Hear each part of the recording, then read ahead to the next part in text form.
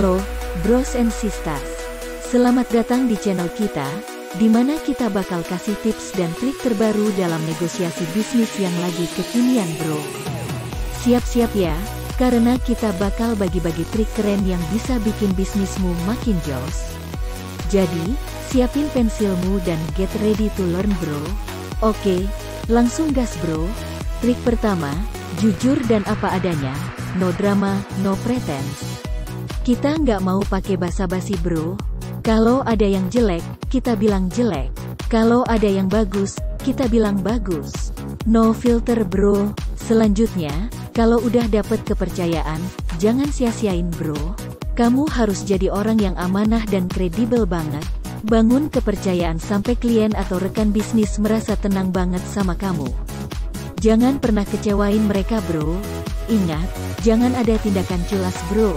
Kalau dikasih uang 100 juta buat dipercayain, jangan sampai kepikiran buat ngeluarin uang itu dengan seenaknya bro.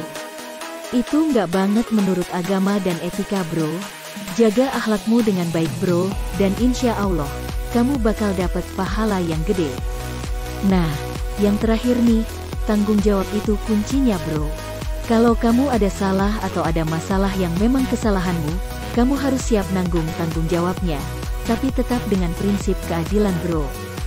Jangan sampai satu kesalahan disuruh tanggung dua atau tiga.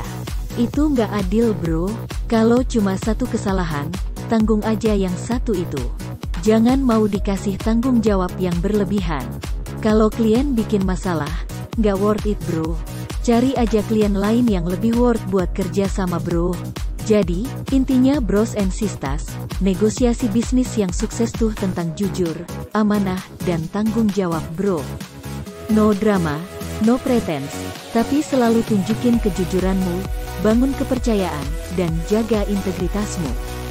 Kalau ada kesalahan, tanggung jawabnya dengan adil, dan kalau ada klien yang bikin ulah, cari aja yang lebih worth buat bisnismu. Terus semangat bro! Sukses bisnisnya, dan kita ketemu di video selanjutnya.